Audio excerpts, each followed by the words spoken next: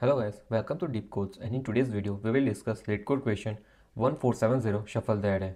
So yeah, this is the easy question uh, and you might feel easy to solve this uh, by using one additional array and that approach. But today in this video we will talk uh, about bit manipulation approach. So make sure you watch the video till the end, like this video and subscribe to our channel. Okay, so now let's take a look at the question. So here you are given one nums array containing of two of two n elements uh, so that means this nums array would be of even size. For any n equal to 3 or 4 or 5 2n would is always equal. That would be the size of the array. That would be uh, even right? Now in in this nums array uh, the first n elements are x1 x2 x3 up to xn. And the next uh, n elements are y1 y2 y3 up to yn. So you need to shuffle shuffle the elements of the array in this way. x1 y1 x2 y2 xn yn so here x1 is 2 x uh, and y1 is 3 right? So x1 y1 x2 y2 x3 y3 so yeah that way we shuffled the array similarly here this is x1 and this is y1 so x1 y1 then x2 y2 so this is how we form this array similarly here. So what uh, one thing you can do is uh, one thing what you can do you can take another vector. Let's say result vector uh, and in this result vector you go on and fill the values right? Uh, this uh, fill the ith value and then uh, for the um, means this would be x of i and for y of i you can fill 2 into i plus 1 that would be y of i right? So this is how you can take a result vector and compute a whole the array but what if an interviewer asks you to solve this question in in place so in place what does this means? That you won't be using any additional array. No additional array right? So you won't use any additional array. You will make uh, some changes in this nums itself and compute the answer. If uh, this would be your follow-up question to solve this then how would you do? So for that question we are uh, going uh, for an approach that you won't uh, use any type of additional array like result array or something. We will make changes in this nums array itself uh, and uh, compute our answer right?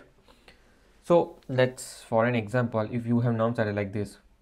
1 2 3 4 5 6 7 and 8 so this is your nums array where n equal to 4 you might have got this. So yeah this is x1 x2 x3 x4 right? Y1 y2 y3 y4 now um, see uh, there is no other no way that you can swap some of the elements and make x1 y1 x2 y2 you cannot swap them directly or nothing like that. The only approach here is to use bit manipulation. And we will talk about this approach right now. So, so this bit manipulation approach how we would use bit manipulation right? So here what we will do see uh, see as we have nums array then what if we can store like this? X1 and y1 at same place 1 comma 5 then 2 comma 3 uh, sorry not 3 2 comma 6 then 3 comma 7 and 4 comma 8 and remaining are empty. 1 2 3 and 4 so these four are empty right so in that case how we will uh, solve this uh, means this is one this is the way you will solve this question. But after this what you can do? See uh, you will again take this nums array so let's say you have computed something like this uh, and now you need uh, x1 y1 x2 y2 type now you need answer from this. So what you will do is see this is the last element. See as you can see the 8 would be the last element. Okay write it. Now 4 would be the last second element. Write 4 7 would become here then uh, before that 3 would be there right? Then 6 would be there 2 would be there 5 would be there and 1 would be there. So what is this? This is x1 y1 x2 y2 and so on. So as you can see here that if you have grouped then x1 y1 x2 y2 then if you start to fill them from the end okay this way then this way then this and this.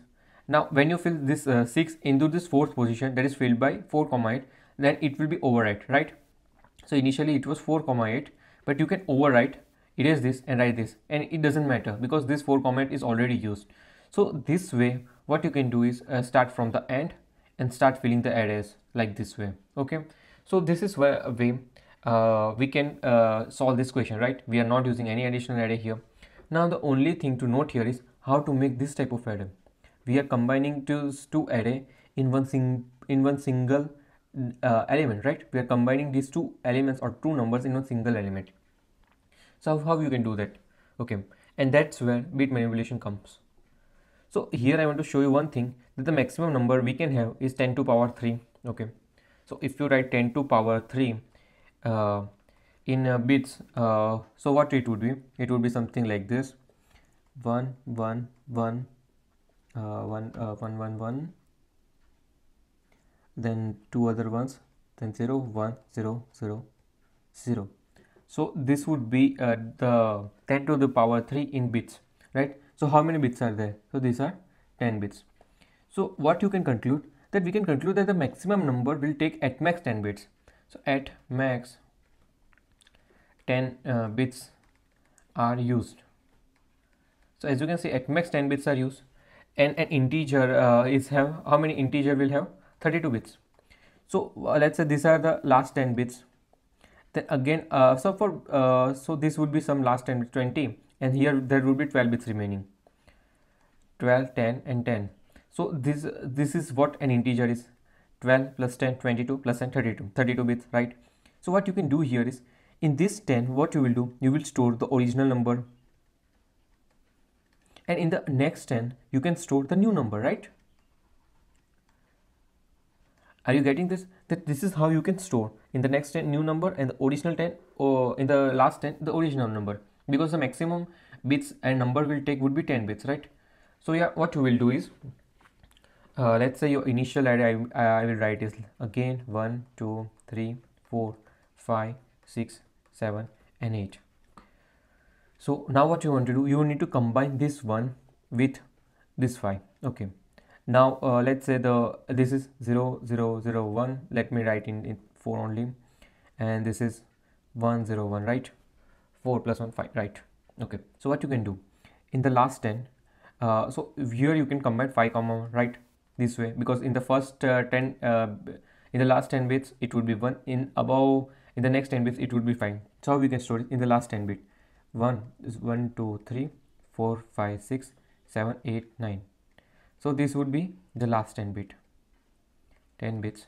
And this will store 1 or we can say x of i in the next 10 bit what it would be? 1 0 1 0 0 0 0 0 0 0 and the next 10 bit this is next 10 bit. And this will store y of i so this way what we can do is we can store uh, two numbers in one in one single element. And the, uh, and before that it will be always it will be only zero so this is way we can store two numbers in as a one element of the array right? And in order to retrieve them see how you can get this la uh, last uh, 10 elements. So this is the first number right? The first number and this is the second number. So how you can get the first number again when you want to uh, place it in the array? So first number would be this nums of i. Let's say let's say this is the new uh, nums of i. So it would be nums of i and this is the bitwise AND with uh, with 1 1 1 1 1 1 1 1 1 1 with um, uh, 1 0 2 3 so that means 10 times 1 so if you do bitwise AND with this then you will get the last number right? It is as simple as it is. See you or let's say you have 0 0 0 0 0 5 0 6 7 8 9 0 and you need to and there is one uh, some other other numbers like this okay? And you need to uh, get this. Then what is what would uh, how would you mask this element so you can mask this by taking 1 1 1 1 1 10 times 1 so uh, by doing and this will be 1 1 and 1 would be 1 and everything would be 0 right? Ahead also it would be 0 so this is how you can get the last 10 bits into numbers by taking uh, by doing a bit masking with this mask okay? And now you need second number. So how second number you will get? So to get a second number uh, that is the next 10 bit what you can do you can simply right shift okay? So uh, this is the number this is the next 10 bit. You can do right shift that is nums of i right shift how many times? 10 times. So uh, you will get your answer. This uh, this all the bits would be would be erased and this would be at the last and uh, ahead of this it would be all zeros. Okay so uh, if something is like this like 0 0 0 0 0 5 6 7 8 uh, no 101 and there are, there are there are some other 10 bits right? Then what you can do you can right shift 10 bits. Then it would be 101 uh, 101 and all this would be 0 and you will get your answer right? This is how you will get first number and second number. And once you get the first number and second number you simply need to place it. Like as we did here the second number here first number here then second number then first number. So i hope you guys understood the approach how we will solve this. Like by combining the two these two element how we will combine we will combine by using bit manipulation. How, how this will work? By because uh, this will work because uh, the biggest number will take 10 bits. Now we need to store uh, these numbers into like this. So we will store uh, it like this. Means in the last 10 bits the original number in the next 10 bits the new number. Okay? So yeah this is how we will store and to again get uh, back this number what we will do uh, for the last for the first number we will just do end with 10 times 1 and the second number we will do uh, right shift okay. Uh, and one thing i forgot to tell you is uh, like we have number like uh, 1 and 5 and we need to combine it to make 5 comma 1 as a single number. This is what single number. Then how you would do? What you can do is let's this is the uh, x of i and this is y of i. So you can do y of i left shift 10 times and do x of i or equal to y of i. Means this is bitwise or so by doing uh, by left shifting 10 times and doing bitwise or you will get number like this such that last 10 10 bits would be x of i and the next 10 bits would be y of i and uh, remaining would be zeros. So this is how you can combine this. Oh i forgot that to tell you initially but i hope you guys understood the idea behind this. And now let's move on to the coding part so that you will get more understanding. So here uh, initially what we will do is uh, we will uh, try to iterate this nums item right? And what we will do we will uh, iterate from the back okay? From i is equal to n i is less than 2 into n i plus plus. We will do i plus plus only because uh, i will tell you that. So currently in second number uh, sec num second number would be nums of i. And what we need to do? We need to make it um, left shift 10 times right and then what we need to do? Nums of i minus n uh, equals to nums of i minus n xor nums of XOR with second number right? So this is how this will work. Uh, by so this will what it will do? First this bitwise uh, sorry first this uh, left shift and then or. So this will make last 10 bits original number and the next 10 bits with a new number that is y of i. Now after this we also need one variable.